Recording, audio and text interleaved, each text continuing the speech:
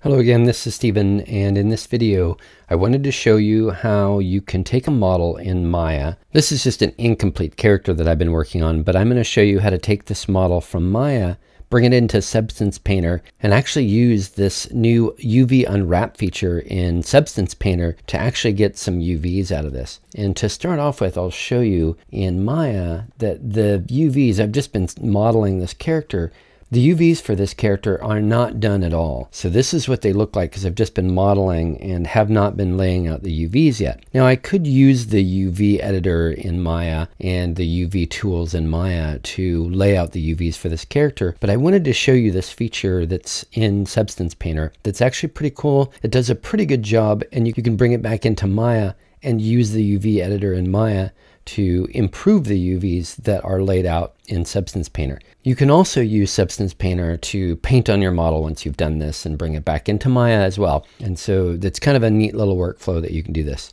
So the first thing I want to point out is I've got some construction history here that I need to get rid of. I've just been modeling and performing actions. And so when you see all these tabs that uh, over here in the attribute editor, you see all these tabs that represent different parts of the construction history. You can go to edit and then delete by type and history and it's going to get rid of all those. So you'll see that you're just left over with the, you know, basic object and I can come over here and call this, you know, my character. That's my, the mesh, or sorry, that's the transform, the mesh, an initial shading group, and the Lambert one. So the very first thing that I need to do is make sure that I have a different material on this character. So I'm going to right click and go to assign new material. And in the assign new material, I could use a lot of different materials for this character, but I want to use an Arnold specific material. So I'm going to use this AI standard surface material. And you'll notice that it has a lot of different attributes and a lot of different properties that I can map different things to. But that's how I'm going to start out with this. And I'm going to just go ahead and save that. I do want to make sure that the FBX exporter is actually installed. So I'm going to go to Windows, Settings, Preferences, and down to the Plugin Manager. And in the Plugin Manager, actually what I'm going to use is this search feature to type in FBX and then enter. And you're going to see it has this FBX Maya bundle or .mll on the PC. Since I'm on a Mac, it's a .bundle. And then you can make sure it's loaded. If it's loaded, you'll have the export functionality in Maya. So I'm going to close that. The next step that I want to do, I'm going to go to File, and I'm going to go to Export. But I don't want to go to Export All. I want to go to Export Selection because I have the character selected that I want to export from. So I'm working in a current project, and I uh, have the Export Selection dialog box open. Couple things that I want to make sure of. Under this File Specific Options, you're going to see this geometry. So I'm going to expand that. I already had it open, but make sure you turn on smoothing groups. This is usually off by default. So I'm going to select that. And then I'm going to scroll down. The other thing that I want to do is normally it's set to automatic in terms of units. So it's under this advanced options. You're going to see units. I'm going to turn off automatic right now because I'm kind of working in a game workflow to a certain degree where I've set the Maya units to meters. Well, what I want to do is I want to set this to centimeters because I want the units in the FBX file that I'm going to export to bring into Substance Painter is going to be the same scale as it is in Maya. I just want to make sure it's set to centimeters and it's the same scale in this case. Right, and then I've already exported it, but I named it, you know, this character's name is Bob. So I named it bob.fbx. And I'd already exported it once, but I'm going to do it again. But I'm going to make sure again it's turned off of automatic, converted to centimeters, and that smoothing groups is, is turned on. And then I'm going to click export selection. It's going to say it already exists because I already made it, but I'm going to save over it. And now once it's saved to the FBX file, I'm going to switch over to Painter, which I have open here in the background. If you uh, don't have it already open, you can open it and work from there. And if you've never used Painter before, this is just sort of a brief introduction to Painter and how to get your model over here. Is you go to File, and I'm going to go to New, right? I don't want to go to Open because I can't just open the FBX, but I need to make a new Substance Painter project. I'm going to choose this PBR metallic roughness, which is the, the template. There's a lot of other templates. Unfortunately, there there's not a template for, you know, specifically from Maya and Arnold, but this metallic roughness is a good template to start from.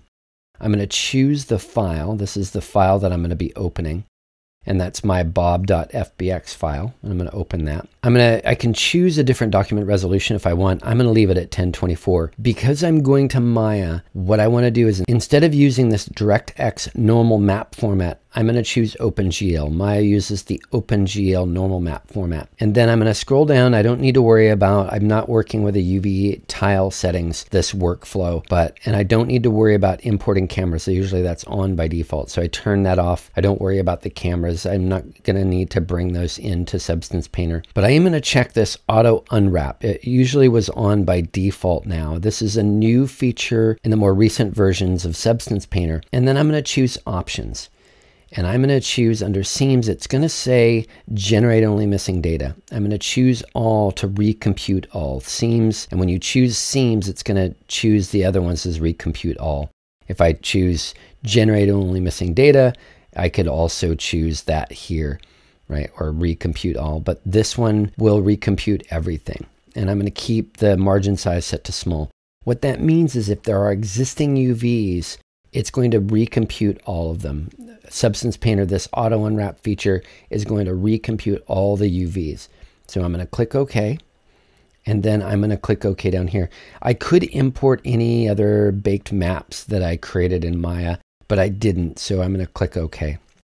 Sometimes, if, depending on the complexity of your model or what your mesh, how, how dense your mesh is, this could take a while. You might see a status box pop up showing you, you know, the, the time that it takes to recompute all these UVs. But over here, I have this, by the way, I have this 3D and 2D view open. I can actually look at what the UVs look like. This is what they're going to look like. And it's kind of interesting. You can see the fingers are over here and the legs and the feet and the body. And here's the head. Well, I could probably do a better job of laying it out. This is a good place to start, and I could bring it into Maya and actually work with a little bit better. But it's actually not too bad. It didn't do too bad of a job on this simple character. On more complex characters, it might have a harder job or, or more complex models. So I'm just going to do really quickly, I'm just going to add kind of a material to this just to kind of give it a base color but I just want to show you how quickly to go back to Maya. So it doesn't save your changes. It doesn't automatically save these changes back to the FBX file. So I have to move it back to the FBX file. I, if I just do a file and save, it's going to save it as a .spp, a, uh, you know, a Substance Painter project right? But I don't want to do that because I can't bring that back into Maya. I can save that as I'm making, you know, changes to this object so that way if I want to come back and repaint it or whatever, I can do that. So what I'm going to end up doing though is exporting back the mesh. So I go to export, it's going to say without displacement tessellation and apply triangulation. Now, since I built this in quads, I don't want to bring it back into Maya as triangulation. So I'm going to turn that off. I'm going to go to export. And in here, it's actually naming it after the material and the template that I chose. But I can just select that bob.fbx file that I had saved before and save it back to that. There's a couple different options for you to save your file. I find the FBX works really well with Maya and saves a lot in there. It contains a lot in that file. And it's built to go back and forth from Maya. So I'm going to go ahead and click Save and I'm going to go ahead and replace it because I had already saved it. Exported the mesh successfully. I'm going to click OK. I'm going to go back to Maya and I'm going to go to File and I'm going to go to Open Scene. In the Open dialog box, I'm going to choose the FBX file and I'm going to click Open. And then what it did is it actually brought my model in and brought the UVs you can see here in the UV texture editor that it brought those UVs in, right?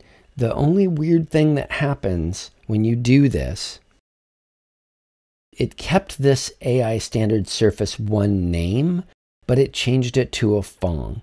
And all I have to do is change that back to the AI standard surface, right? Or whichever material you want to use. I'm using this because I want to render in Arnold. And then what I could do is once I'm in Substance Painter, I can go back to Substance Painter. I can actually export the textures. And when I do that back in Maya, I'll be able to connect those textures to, say, the color channel by mapping it. As long as I save those maps to my project directory, it'll find them right away when I connect them. And I'll have a future video where I talk about how to make those connections and get the textures from Substance Painter back into Maya and get them on my character because the UVs are going to be the same between Substance Painter and Maya. I hope this helps, and it's a really nice little trick to move back and forth between Maya and Substance Painter, and good luck with it.